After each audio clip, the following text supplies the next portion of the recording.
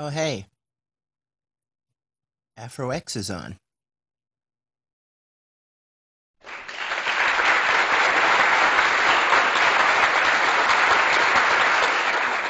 Hey, YouTubers.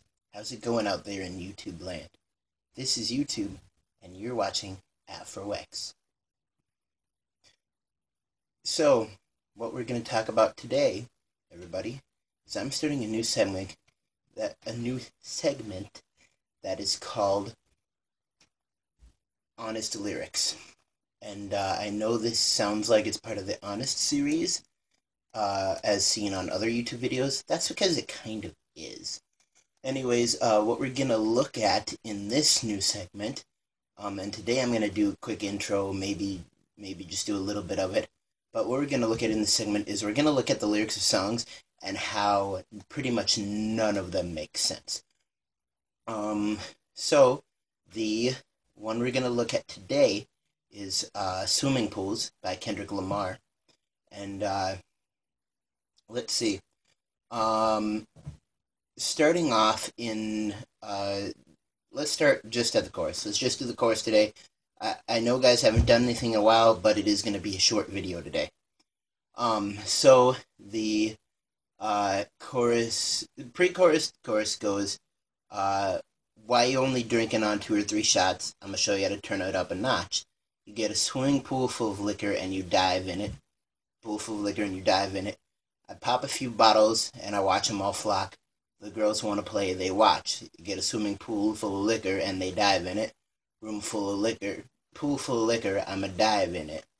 Um, so, first of all, I'm going to look at the uh, giant humorous fact that um, not only is that the song in the beginning, the character Kendrick Lamar, in this case, is drinking responsibly, um, and he's doing just fine. And then another guy is just like, "Oh no, you need to get a giant swimming pool full of liquor and just dive in it," which is a very, very bad idea. Very, very bad idea indeed. Um, because for one, any wounds you had on your body, any cuts, any scrapes, or anything, they would burn like hell in a swimming pool full of alcohol. Second of all, so much wasted alcohol, but that's not even the main point. Second of all, um, you'd absorb so much alcohol through your skin, and you'd probably be drinking it while you were in it. So not only does that bring your own germs into it, but you are uh, consuming a giant, giant amount of alcohol, enough to kill you from alcohol poisoning.